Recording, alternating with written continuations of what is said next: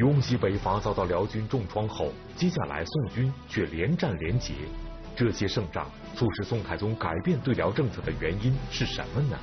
敬请关注系列节目《宋太宗之其实我不弱》。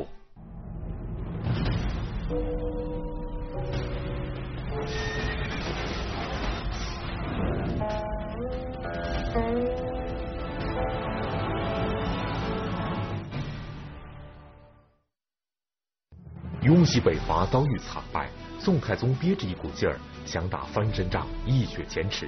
然而在接下来的君子馆大战中，几万宋军再遭重创，宋太宗的心几乎凉到了冰点。然而让他万万没有想到的是，面对凶悍无比的契丹铁骑，宋军竟然又奇迹般的接连打了五次胜仗，好好的教训了一下骄狂的辽军。虽然胜仗规模较小。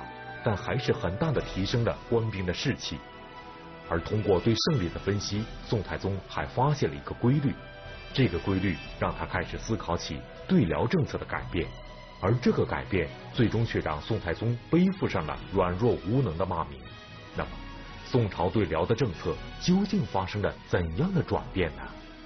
河南大学王立群教授做客百家讲坛，为您讲述系列节目。王立群读宋史，宋太宗第二部之其实我不弱。上一节我们讲到了宋辽之间的第二次大规模的战争，就是雍熙三年的北伐失败了。这次北伐的失败带来了极其严重的后果，就暴露了北宋的边防力量非常弱，而且有很多可钻的空隙，这就导致辽军。抓住这个机会，对宋进行了一连串的进攻，所以宋辽之间在雍熙北伐失败以后，又进行了一系列的战争，这些战争影响非常大，这些战争直接导致这个结果就是宋辽之间的关系，北宋是怎么样来应对辽，就发生了很大的变化。我们这集要来讲一讲。这个宋辽关系在这一系列战争中间出现了哪些变化？宋太宗对这件事情，对这一系列的战争做了哪些政策的调整？这是非常重要，这是宋辽关系的一个转折点，分水岭。我们首先讲一讲这个雍熙北伐以后的一次重大战役，因为雍熙北伐的失败以后啊，招致国内的。许多大臣对宋太宗的对辽政策提出批评，特别是赵普，在东路军失败，就曹彬的部队失败以后，连续两次上书提出来自己的意见。在这种情况下，宋太宗给赵普回了一封信，在这个信中间，宋太宗讲了一番很有底气的话。这个话这样讲的。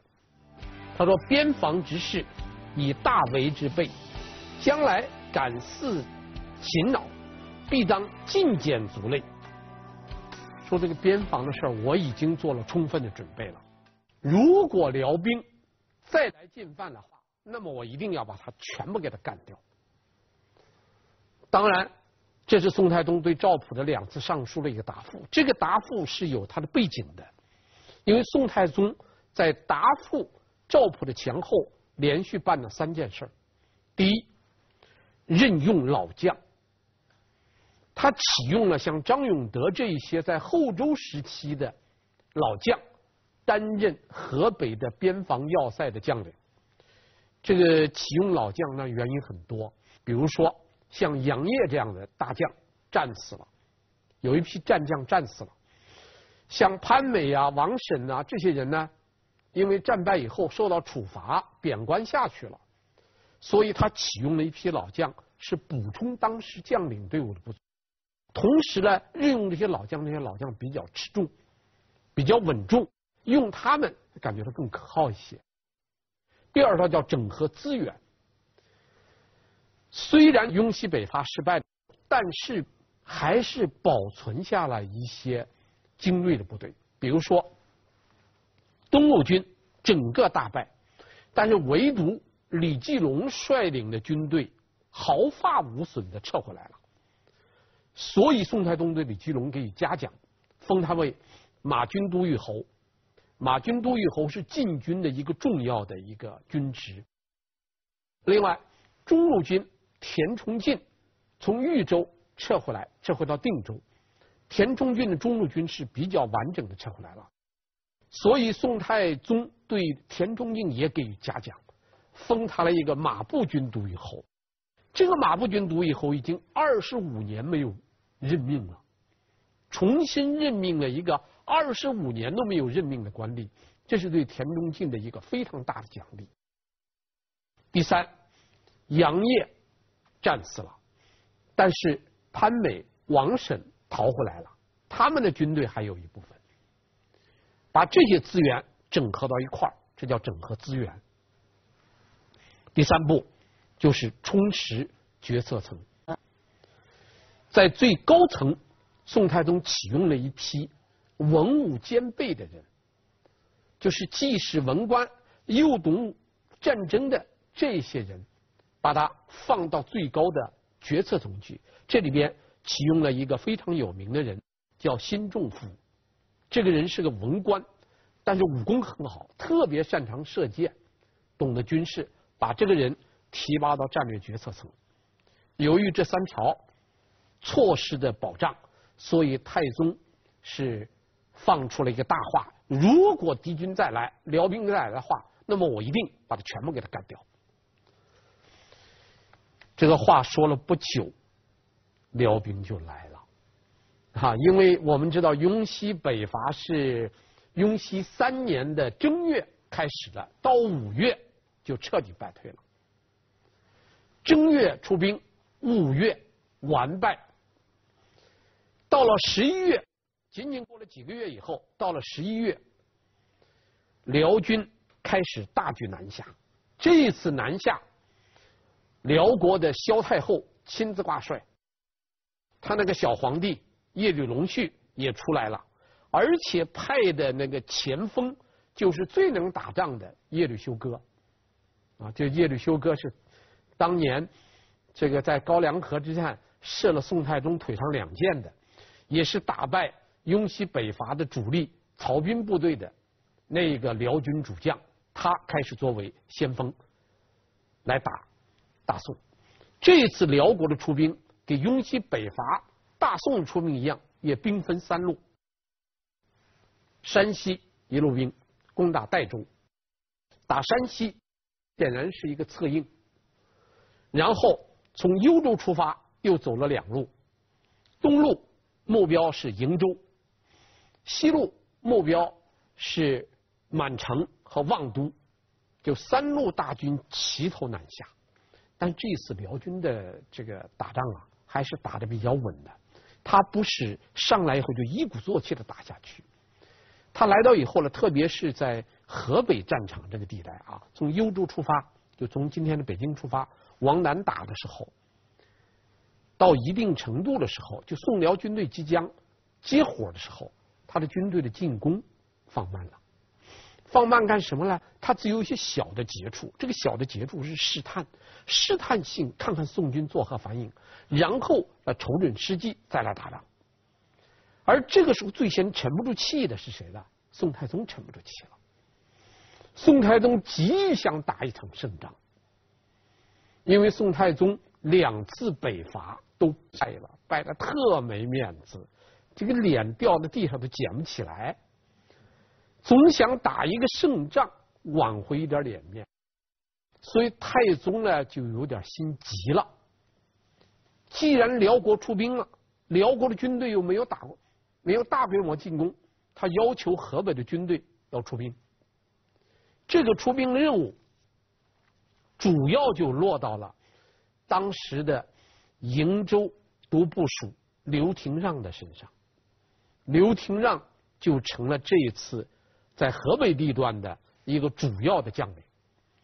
刘廷让做了两件事情，第一件事情叫集结兵力，他和当时易经关的一个守将叫李靖元，两个人合作，两个人合兵，要直接向北面打，扬言要打到幽州。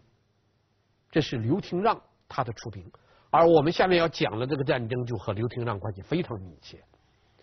带了多少人呢？带了几万军队向北来。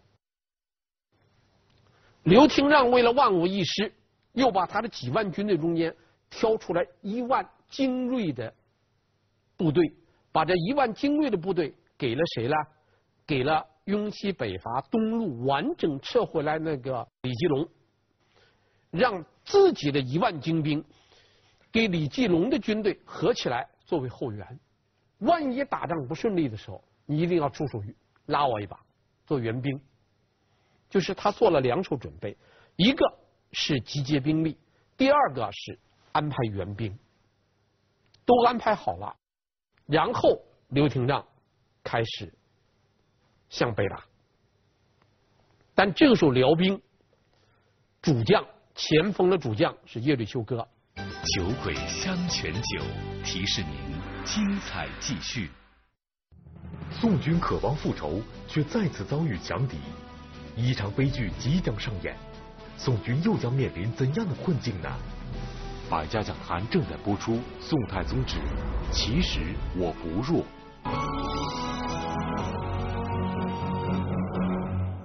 耶律休哥算是宋军的老熟人了，当年就是他率领辽军在幽州城下大败宋军。宋太宗身上的两处剑伤就是拜他所赐，而在这次雍西北伐中，耶律休哥又一次率部击溃宋军，成为大宋军队的眼中钉、肉中刺。那么，面对一心想要复仇的宋军，耶律休哥又将想出什么应对的办法来呢？他针对宋军的动作采取了几条：第一，控制要地，把一些重要的战略要地首先控制住啊。这样好阻止刘廷让军队的北上，然后等待援军。他把这个消息又告诉了萧太后和耶律隆绪，辽国的国君，让他们的军队合兵。第三，断其粮道，还是老办法，因为他上一次雍西北伐打败曹彬，就是断了曹彬的粮道，这次他又想用这招。断粮道。第四，诈降。诈降是宋军用过的，这次辽军也用诈降了。诈降诈降谁呢？耶律休哥就向贺令图诈降。贺令图这个人我们前面讲过，他是向宋太宗建议雍西北伐的人，就是他是第一个给宋太宗上建议，趁着辽国的国君死了，新皇帝很小。趁这个时候要北伐，就是这个贺令图，这个人好忽悠啊！你这个人虽然是长期在边地做将领，其实是一个有勇无谋的人，很没有谋略。耶律休哥就告诉他，他说我在辽国这儿受到猜忌，我现在没法在这生存，我准备去投靠大宋，你能不能引荐一下？这一下的话呢，这个。贺令图当然太高兴了。耶律休哥是辽国最能够打仗的一个前线的一个大将啊，主帅啊。耶律休哥要是投降过来，第一，那这是宋军的一个巨大的胜利；再一个，就一下子把雍西北伐失败以后批评他的那些人的悠悠之口全部给堵住了。因为雍西北伐失败以后，大家追究责任，都会想到。谁最先挑起这把火的？贺令图。所以贺令图如果能策反了耶律休哥，那么贺令图就等于说我是将功补过了。贺令图就特别高兴，而且他高兴到什么程度呢？他这个事就不给别人说了，他觉得告诉别人会别人会抢他的功。他一个人想吃这块天上掉下来的大馅饼，贺令图太得意了。完全没有考虑到耶律休哥是诈降，他觉得这是天上掉馅饼了，他没想到天上掉下来的馅饼不见得就能吃到。第二就是吃到了，你也不见得就能吃。真是天上掉馅饼的时候，你还得考虑考虑这饼能吃不能吃。这饼里面有没有钩？别吃下去像鱼食一样，叫勾住了，那麻烦就大了。贺令图这些全不考虑，所以贺令图在得意忘形之际，就送给耶律休哥十两最珍贵的丝织品作为礼物。所以耶律休哥得到这个礼物以后啊，就觉得成功了，这下子总算是把贺令图给骗了。然后呢，耶律休哥就放出话来。我要见这个贺世军，要见这个贺令图。说贺令图一听说耶律休哥要见自己，很高兴，只带了几十个随从，跑到耶律休哥的大营去了。这么大意，他觉得是十拿九稳。结果走到大营门口，就听见耶律休哥一声令下，上来一帮子辽兵。把贺令图所有的随从全部杀死，把贺令图一下子五花大绑抓起来了。你想想，宋军还没有开战，宋军的一员大将贺令图就被人家给抓了。然后刘廷让的部队给耶律休哥的部队一接触，一开始打仗，耶律隆绪的。萧太后的大部队到了，一下子把刘廷让围了好几重。刘廷让拼死抵抗，他抱着一线希望，因为他做了一手准备。我们前面讲过，他留了一万精兵给那个李继龙，他有危险的时候，让李继龙带着自己的军队，加上自己留给他的一万精兵来解救自己。但是他万万没有想到，李继龙不但没有来救，李继龙一看见刘廷让陷入重围，李继龙退守了，走了，开溜了。所以这样一来，刘廷让就陷入他的几万军队啊，大宋的精锐的禁军，陷入辽军大军的包围之下，包围了好几重，最后是刘廷让。受了几处伤，他的马战马也被射射死了，又换了战马，最后带了几个随从逃出来了，手下的几万军队被辽军全部杀死。这一仗就是宋辽战争史上非常有名的君子馆之战。这个君子馆在哪儿呢？就今天河北的河间，河间附近的一个地方，叫君子馆。这是非常惨烈的一仗。这一仗，大宋损失了几万中央禁军的精兵。齐国干大战败亡以后，这个君子馆是又一次严重的损失。这一次损失了几万精兵啊！所以君子馆战打得非常惨。惨到什么程度呢？廷让全军皆没，死者数万人。廷让得麾下他马乘之，仅托死，几万人全死了。主帅刘廷让换了马，带了几个人逃出来。这是君子馆之战。这一仗，辽军完胜，宋军完败。所以两次大战以后。辽军就觉得宋军是纸老虎了，所以这个君子馆之战刚刚一结束，东西两路辽军都开始大举进攻了。酒鬼香泉酒提示您：精彩继续。宋军连遭惨败，士气低落，却在逆境中取得一场来之不易的胜利。那么宋军是如何取得这场宝贵胜利的呢？百家讲坛正在播出。宋太宗旨，其实我不弱。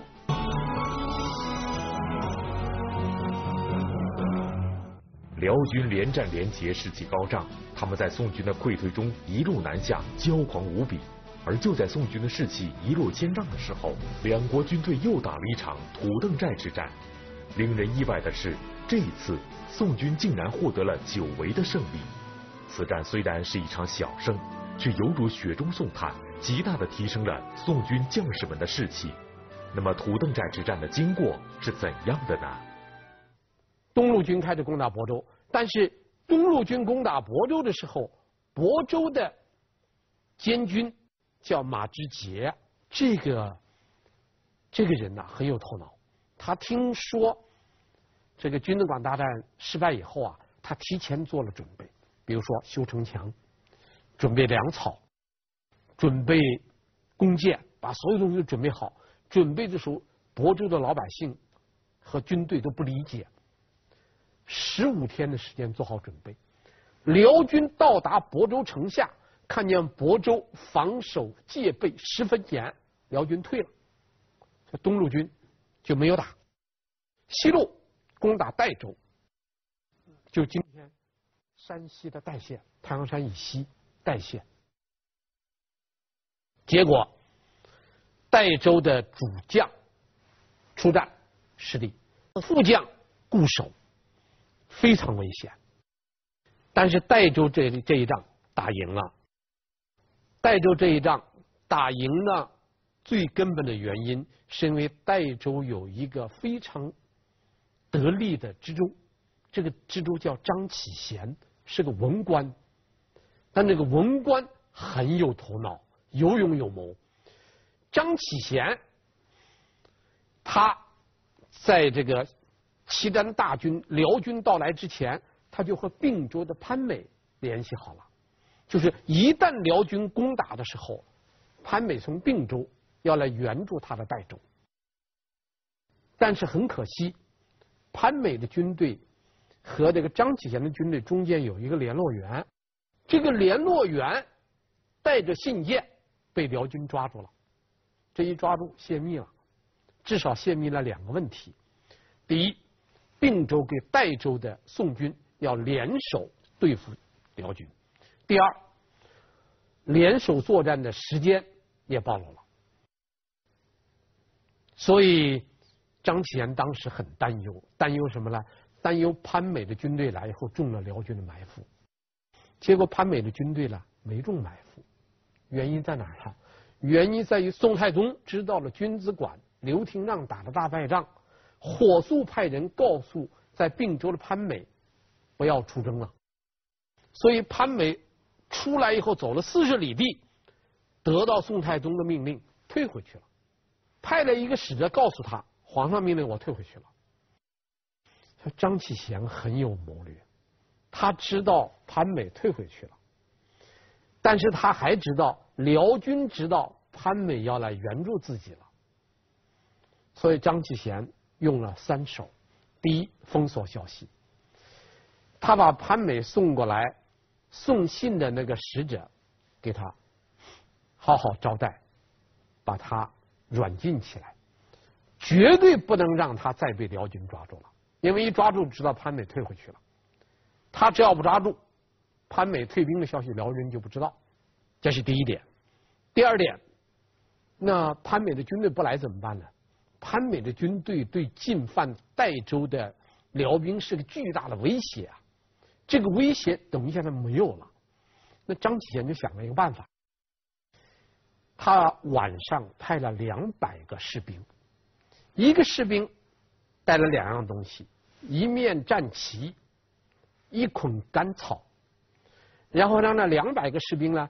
跑到代州西南方向，晚上让这两百个士兵各自把自己带的一捆草给他点着，离他那个代州有多远呢？三十多里地。而且你自己那一捆草点着的时候，你要把你带的那个旗子把它竖起来。两百个人呐，等于两百堆火全燃着了，两百面旗全在那迎风招展。这一下子，让围攻代州的辽兵以为潘美的援军到了，里程只有三十里地了，就辽军咵一下就全退了，这叫吓跑了敌人呐。第三，设置伏兵。张启贤是个文官，他怎么会打仗呢？代州的附近有一个地方叫土邓寨，这个土邓寨的地方呢非常险。这个张启贤就在土登寨，他知道辽兵退的时候一定要经过这个山谷，他在两边的山上就做好了埋伏。结果辽兵走到土登寨，伏兵四起，其实他没有多少军队，但是辽军是被吓跑了，然后路上又遇到伏兵，又是夜晚，不知道宋军有多少人，这下子辽兵是大败而去。张启贤就这样把辽兵给打败了。所以君子馆之战以后啊，最有名的一次战役就是张启贤在山西代州打的土登寨之战。这个君子馆战役之后，宋辽双方的心理都发生了很大的变化。对于辽军来说，最明显的是两点变化：第一，频繁的发动战争。辽军经过哈。这个几次大战，把宋军的几万军队全部给歼灭了，所以辽军就觉得宋军河北的边防不堪一击了，所以他频繁的入侵，攻占了很多地方。第二点就是大肆的抢劫，只要到了宋军防守的地方，见到宋军的这个这个官员，一律就杀，见百姓就抢，既抢人又抢东西。宋军的心里有什么变化呢？宋军可以说是丧失斗志，没有斗志，到了什么一种情况呢？到了草木皆兵的这种状况。我们举一个例子：雍熙四年，雄州、霸州都接到战报，说辽军又南下了。结果出来一件怪事儿，当时。这个河北的有一个重要的军事重镇，叫宁边军。这个宁边军的长官啊，知军是一个很有名的人文人，叫柳开。这个人在文学史上还很有名的。结果柳开做这个宁边军的知军，结果他驻守了宁边军，几天之内接到了八十多封紧急战报。所有的战报都说辽军入侵了，说柳开觉得很奇怪，不可能的事情。柳开就举了五条理由，说明绝不可能在这几天之内有这么多辽军南下。我这个地方怎么能这几天之内接到八十多封紧急军情呢？不可能的。查吧，结果一查，全是谎报。换句话说。辽军稍微有一点风吹草动，宋军就以为辽军是大举南下了，立即就上报。这只能说明什么呢？宋军已经成了草木皆兵了。当然，君子馆之战大败以后，宋辽之间又打了五次战役：土登寨之战、唐河之战、徐河之战、子河岔之战、雄州之战，打了五仗。这五仗，宋军全胜。酒鬼香泉酒提示您：精彩继续。对辽策略究竟是战是和？一场争论在朝堂上上演，最终的结果又将使宋太宗背负怎样的骂名呢？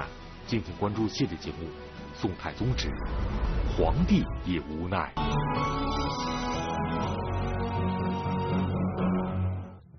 雍熙北伐，宋军二十万大军被击溃，君子馆一战，几万精锐再次受挫。面对强悍的契丹铁骑，宋朝军队可以说是草木皆兵，毫无斗志。而在这种状况下，宋军竟然能奇迹般的连打几次胜仗，实在令人难以理解。那么，这五次胜利都有什么特点呢？宋太宗的对辽政策又将发生怎样的改变呢？这五仗。有有特点，有他自己的特点。第一，规模小，小到就是这个双方投入的兵力都不多。第二，局部胜利。第三，只能把辽兵驱逐出境，不能够追击歼灭辽兵。就是这个时候，宋军的力量就只能够。把他辽兵的进攻挡回去，已经不能够把辽兵消灭掉了。所以在君子馆之战以后啊，宋辽之间又打了五仗，这五仗宋军都胜了。虽然它规模小，不能够改变全局的被动局面，但是这五次战役我们还是要谈一下，因为这五次战役意味着大宋对辽国的战略要发生重大转折。这个重大转折就是由主动进攻变成被动防御，由大规模的大兵团作战。变成小规模的局部的防御，这是宋辽关系中间非常重大的一个变化，而这个变化又直接导致了对宋太宗这个人评价。我们下面就来看看这五次战役的情况。这五次战役可以说宋军全部打赢了。打赢的原因是什么呢？第一，将帅应对得当是第一个原因。我们举一个例子。比如说唐河之战，唐河之战是发生在端拱元年，辽军南下要攻打定州，定州的北面是唐河，两军隔着唐河相斥，在这种情况下，唐河之战爆发了。唐河之战爆发的时候，他的监军袁继东主打，守将主要是李继龙，他也主张，但是这两个人主打。主张出击和宋太宗的命令甚至是完全相反的。唐河之战之所以能打赢，和守将抗旨不遵密不可分。其中这个主将李继龙讲过很有名的几句话：“孔外之事，将帅的专业。往年何间不及死者，故将有以报国家。”什么叫孔外？就战场啊。在战场上，在军队中间，就是换句话说，是将在外，军有令，我有所不受，我不能听你的。君子馆之战，我之所以不去救，我就想保存我的实力，因为我进去我也救不了刘廷让。我保存我的实力，就是为了今天有机会来报答国家。所以唐河之战最终是打了，而且打赢了。怎么打赢的呢？李继龙。牺牲了这个定州附近的一个益州，把这个益州最精锐的骑兵给调过来了，有一万多骑兵调过来了，这个代价很大。这一万多骑兵的家属给孩子都在益州，结果益州由于最精锐的部队抽走了，益州沦陷。益州沦陷以后，这一万多精锐骑兵的。孩子、老婆全被辽人给抓走了，而这份精锐的军团到了定州以后，李继龙给了他们重赏，而且两军决战的时候，这一仗之所以唐河之战能打赢，就李继龙用了这一万多精锐的骑兵，把辽军的阵型给冲垮了。先是派出去一万多骑兵冲垮以后，然后宋军一拥而上，把辽军打得落花流水。这是唐河之战，之所以能打赢，是主帅非常得力，全靠将帅当机立断、现场发挥的好打赢了，并不是辽军特别胜，但人家就是现在临场人家发挥的好，这球就踢进去了，那这个胜了你也你无话可说，是吧？就这样把这一仗打赢了。这是将帅得力，还有一点要提出来的，就是依托地势，防御有方，利用地形来防御。这个我们前面讲过那个土城寨之战，土城寨我们讲过那个张启贤，他用疑兵用伏兵把辽军的第一次进攻给打回去了，结果辽军第二次又来打了，又来打了。怎么办呢？张启贤手下只有湘军，湘军是什么兵呢？湘军跟晋军是是一对范畴，晋军是归中央的，湘军呢是地方部队。晋军的兵强马壮，湘军的都是老弱病残。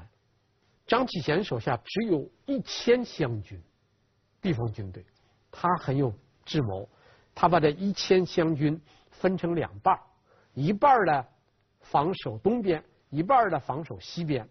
如果敌军从东面来了，东面打；如果从西边来了，你西边打。各在山谷里面埋伏好，一旦战争打响，所有的军队都集中起来。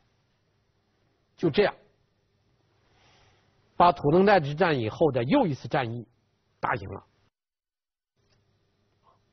这是利用地形，利用地形打了。我们还可以举两次战争，就是至道元年的两次战争：子和萨之战和雄鹿之战。